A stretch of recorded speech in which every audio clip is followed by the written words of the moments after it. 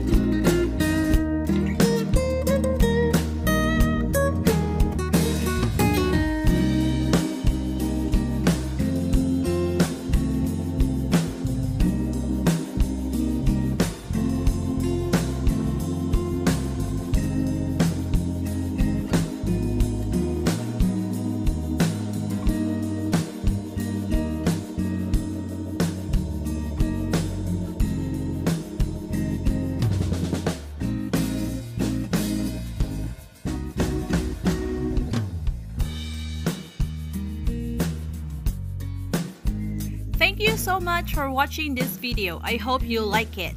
And please don't forget to like and subscribe to our channel.